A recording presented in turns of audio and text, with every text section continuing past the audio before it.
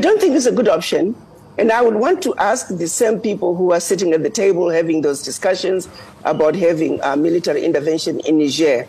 Let me remind you that there are other coups that we are not talking about that we should be talking about. By France forcing Niger to send all its natural resources to France, that's a coup. By France having its own military in, in Niger and forcing Nigerians that you can only be trained by France, that is a coup.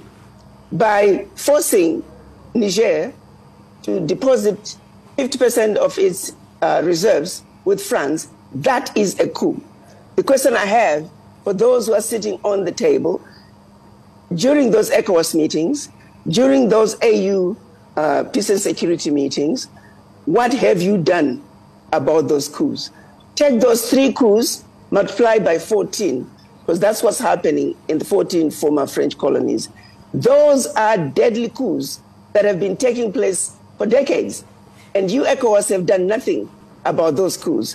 I need, I need them to also answer and, and give us remedy as to how they are going to handle those coups. Make no mistake about it. Those are coups against the African citizens in those countries. And when, while they discuss what they would like to do with Niger, I would also want them to table those coups and come up with a solution as to what needs to be done. Because behind those coups that I just described from France, there are millions of children who are dying from starvation. There are millions of children who are going to bed with an empty stomach. There are millions of African youth who are unemployed. There are millions of women who are dying while giving birth to another life. I need them to put that on the table as well. If their interests are truly about the Africans, let's look at the global uh, view of the issue. Let's have a bird's eye view of the issue and have a frank and fair and honest discussion about what is really going on in Africa. I do know that I don't think the carnage that's going on in Africa is what ECOWAS is all about. Leadership is about the people. It's about creating a better life for the people. But if you're going to allow one who has committed egregious crimes in Africa continues to have coups, those are coups. Let's, let's call a spade a spade. You can't give France a pass.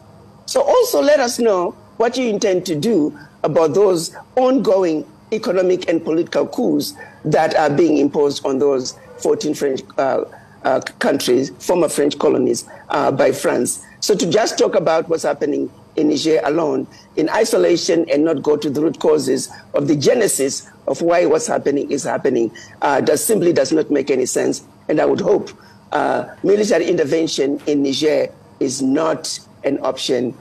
That simply is not something we should do as Africans. There are better ways of dealing with our issues.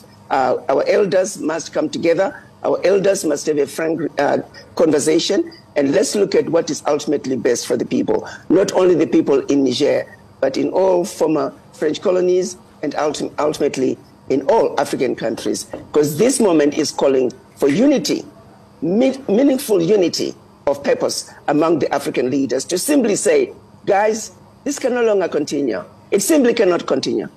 The people have spoken, and I hope our leadership would listen.